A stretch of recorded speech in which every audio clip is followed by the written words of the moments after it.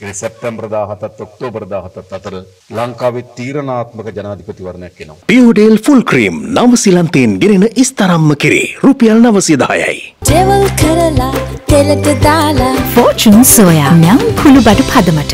අපි පෙරදුණු මොකද වෙන්නේ? අපි පහුවදා ඉඳන් දේශපාලනය කරනවා. දූෂිතය දන්නවා. අපටත් වඩා වැඩියෙන් දූෂණී ප්‍රමාණය. ඒ නිසා ඔවුන් ඉතා හොඳින් දන්නවා. ඔවුන් පෙරදුණු ඔවුන්ට කුමක්ද සිද්ධ වන්නේ කියලා. උන්ගේ දේශපාලන පෙත එළලා තිබෙනවා. තාත්තගෙන් පුතාට පුතාගෙන් පුතාට යන දේශපාලනයක් අපේ රටේ ලියවිලා තිබෙනවා. මෑතකදී මම දැක්කා නාම රාජපක්ෂ ප්‍රකාශයක් කළා තිබුණා. ඔහුගේ පවුලේ දේශපාලන ඉතිහාසය අවුරුදු 98යි කියලා. පෙරදුණුත් සෙන්චරි ගහන්න හම්බෙන්නේ. උන්ට සියල්ල හිමි වෙනවා. මහින්ද ඉන්නේ ආණ්ඩුවේ ගෙදරක, නාමල් ඉන්නේ ආණ්ඩුවේ ගෙදරක, ගෝඨාභය ඉන්නේ ආණ්ඩුවේ ගෙදරක, චමල් ඉන්නේ ආණ්ඩුවේ ගෙදරක, වරප්‍රසාද ඔහුගේ උරුමයක් බවට පත් වී තිබෙනවා. ඒ සියල්ල හිමි වෙනවා. චන්ද්‍රිකා සහ මහින්ද එකිනෙකාට එරෙහිව හිටියා. හැබැයි මේ සියලු සතුරු කඳවුරු එක වේදිකාවකට තමයි ජනාධිපති ඡන්දය.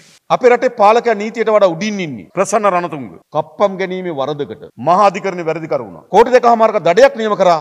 ලක්ෂ 20ක වන්දියක් නියම කරා. පස්සේ ඇපීල් කර එක වෙනම දෙයක්. ඒ පාලකෙන් රටට අවශ්‍ය දේ කරන්න නැතු වුනහම ඒගොල්ලෝ මොකද කරන්නේ? ජාතිය අනතුරේ ජාතිය බේරගන්න ඡන්දෙ. අපේ රටේ ආර්ථිකයට ප්‍රවිෂ්ඨ වෙන්න පුළුවන්කම තිබෙන්නේ දේශපාලකයත් එක්ක සබත්තාවයක් තිබෙනවා නම් විතරයි. ඔබට සතොසට බඩු දාන්න පුළුවන් ඇමති දන්නව නම් විතරයි. ඔබට ආණ්ඩුවෙන් ඉඩමක් අරන් ගොවිපලක් කරන්න පුළුවන් ඇමති දන්නව නම් විතරයි.